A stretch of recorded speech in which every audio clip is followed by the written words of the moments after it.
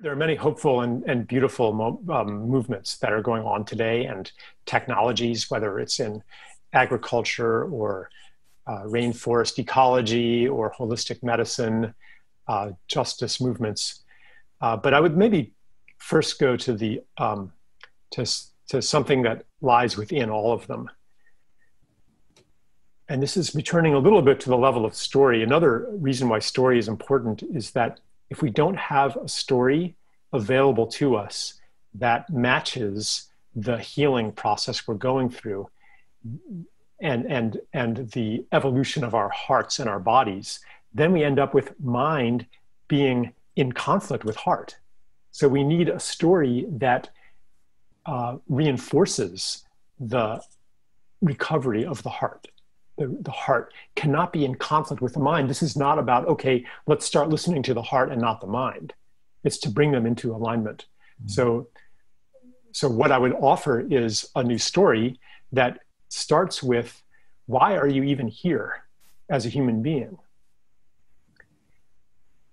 And all of us, maybe even in this moment, can feel that who we are is life itself and life seeks its full expression. Life and the full expression of life is to contribute to life. Every that's true of every being on this earth. It's not just competing to maximize its reproductive self-interest but its life process is a gift to the world. Whether it's a, a, an insect pollinating the plants or a bacteria fixing nitrogen, or a tree bringing up moisture that feeds the other plants around it. Um, I mean, every animal contributes, every plant, every being contributes to the world. That's what life does, and you are life.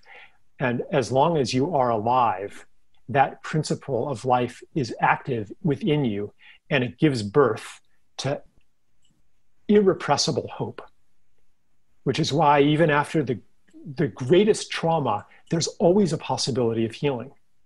Just as weeds break through a parking lot and eventually return it to beauty. That is the principle of life that's within all of us.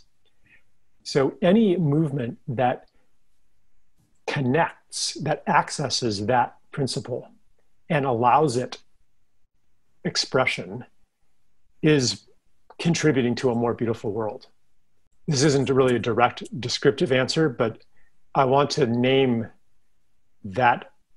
I want to name the livingness in in everybody listening to this. Because simply connecting to the truth of that. I mean, for me, it's actually part of trauma healing to know oneself as basically healthy. That there's a, a principle of health within us because we are alive. And life moves toward beauty, life moves toward wholeness. And this principle even transcends the biological survival and death of the individual on some level, we, we recognize that our, our life is even more than that. That not even death can stop us from always wanting to grow, to express our fullness, our contribution. I think that it, our society, if personally and collectively, if we affirm this the truth that we are that we are life and that we are here to contribute to life and that we are irrepressible in that. We have a very different world today